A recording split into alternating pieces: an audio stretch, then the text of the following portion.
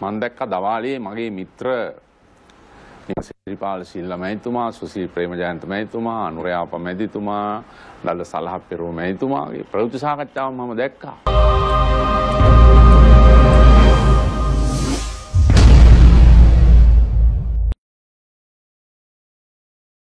මේ සිද්ධිය කිසියක්ම ආකාරයකින් අපේ පක්ෂයේ ජනපදනමට හෝ ජනාධිපති මහින්ද රාජපක්ෂ මැතිතුමාගේ ජයග්‍රහණයට කිසිම ආකාරයකින් අහිතකර බලපෑමක් සිදු වෙන්නේ නැහැ. ශ්‍රී ලංකා නිදහස් පක්ෂය විශේෂයෙන්ම අතිගරු ජනාධිපතිතුමා යටතේ තාම විශිෂ්ට වෙනසකට පාත්‍ර වුණා. ශ්‍රී ලංකා නිදහස් පක්ෂය වඩාම ශක්තිමත්ම පක්ෂයක් බවට පත් වුණේ අතිගරු ජනාධිපතිතුමාගේ වකවානුව. කිසිම දේශපාලන පසුබිමක් නැහැ. එතුමා නිරවුල්ව කිව්වා පුද්ගලික කාරණා. පුද්ගලික කාරණා. ප්‍රශ්නේ තමයි මේ ජනාධිපති මහින්ද රාජපක්ෂ මැතිතුමා තමයි මේ රට ස්ථාවර කරන්නේ.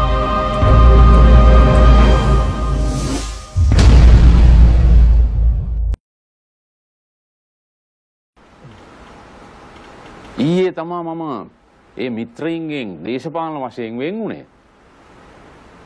ඒ හතර දෙනා වගේම මේ ආණ්ඩුවේ හැම ඇමතිවරයෙක්ම නියෝජ්‍ය ඇමතිවරයෙක්ම දන්නවා ඇමතිවරයෙකුට කළ හැකි කාර්යය කුමක්ද කියලා අපි සාකච්ඡා කරලා තිබෙනවා. අපි පෞද්ගලික මට්ටමින් කොච්චර කතා කරලා තියෙනවද?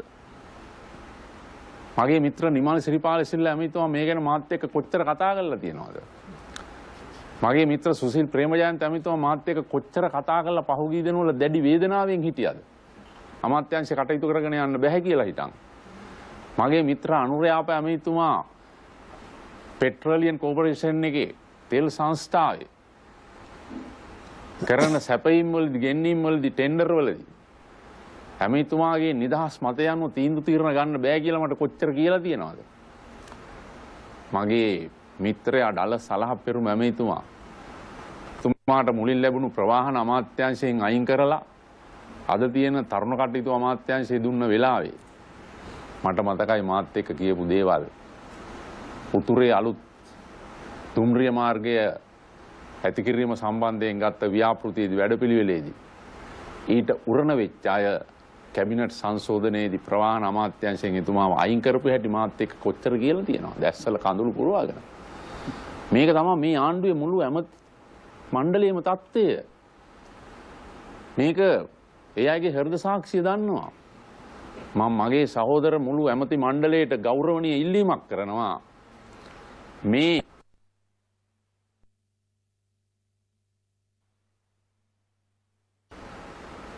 රුදුරු ආඥාදායකත්ව කරා යන ගමනේ නිදහස් වෙලා හෘද සාක්ෂිය තුල තමන්ගේ ඇති වෙලා තියෙන පීඩනයත් එක්ක රට ජනතාව නිදහස් සහ ප්‍රජාතන්ත්‍රවාදයෙන් ඔය නාමික තනතුරු අතහැරලා සියලු දෙනා අපිත් එක්ක එකතු වෙන්න කියලා ආරාධනා